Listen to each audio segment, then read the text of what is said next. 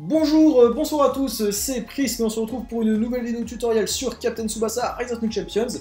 Et aujourd'hui, dans cette vidéo one-shot, on va s'intéresser au Borussia Mönchengladbach. Je crois que j'ai bien réussi à le prononcer, c'est pas facile.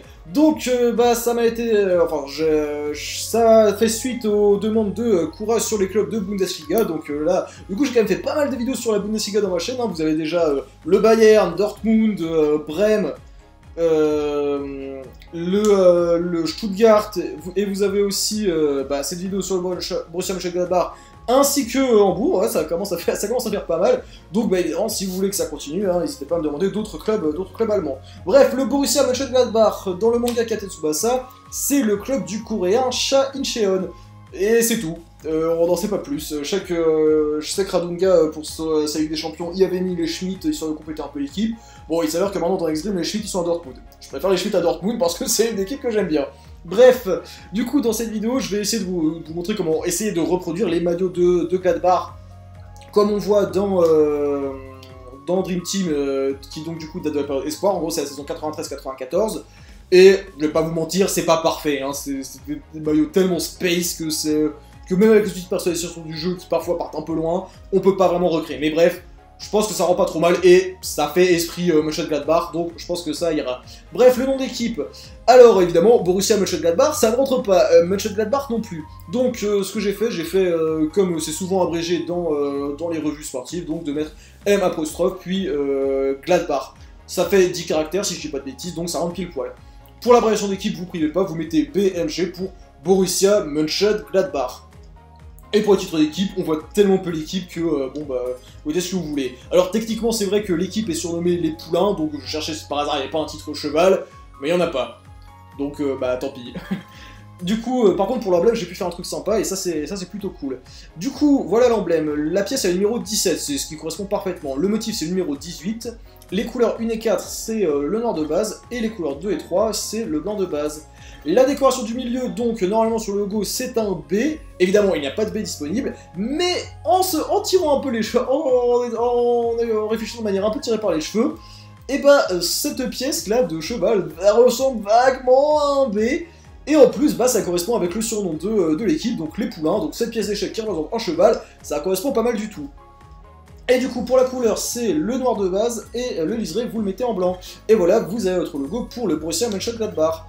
Je vais maintenant vous montrer les trois maillots, puisque j'en ai fait que trois pour... J'ai fait qu'un seul maillot gardien pour une fois. euh, C'était tellement une plaie à reproduire que j'ai pas voulu réfléchir davantage pour euh, un deuxième maillot gardien.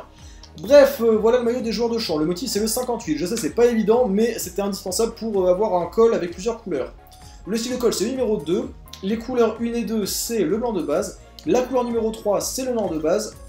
Et la couleur numéro 4 c'est le euh, ce vert là. Le short et les chaussettes c'est le numéro 9 et vous mettez tout en blanc.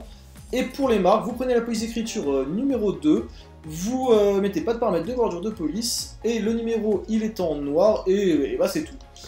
Pour le marque du capitaine, vous mettez ce que vous voulez. Alors maintenant, les euh, maillots joueurs de champ numéro 2.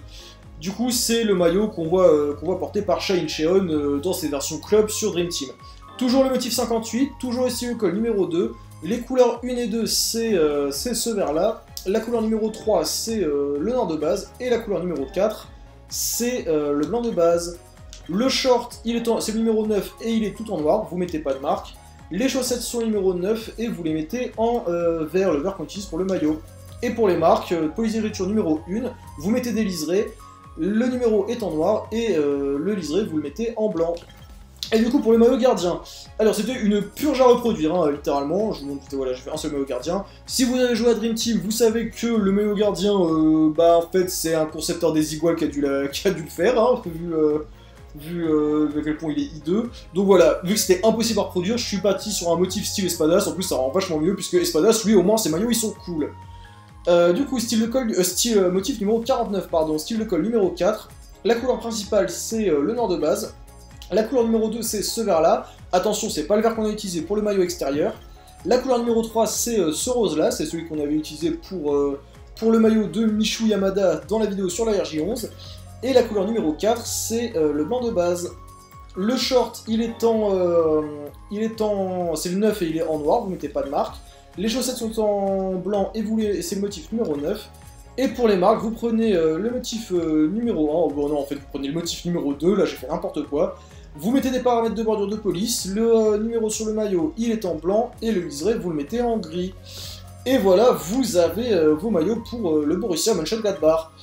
Alors du coup pour la composition d'équipe, vu qu'on ne voit jamais le Mönchengladbach en action, bah bon bah j'ai mis des randoms, hein. j'ai mis des randoms qui sont cliquables, qui sont pas trop nuls. évidemment, vous pensez à vous recréer un Shane Sheon si vous voulez vous refaire l'équipe. Tiens d'ailleurs, vu que j'ai fait des vidéos sur euh, Stuttgart et euh, Gladbach, qui sont donc les clubs de Lee et Chat, bah du coup, encore une fois, si vous voulez une série sur, euh, sur la Corée pour apprendre à créer ces deux joueurs, bah vous me le demandez et je vous fais une série complète plutôt que de faire des one-shots sur comment créer Lee et comment créer Chat. Ça serait pas très pertinent. Voilà, du coup, la vidéo est terminée, j'espère que ça vous a plu. Encore merci à Kura pour sa demande. Si ça vous a plu, n'hésitez pas à le dire en mettant un petit like, un commentaire, en vous abonnant et en activant la cloche. D'ici la prochaine fois, je vous fais des bisous et je vous dis à très bientôt. Ciao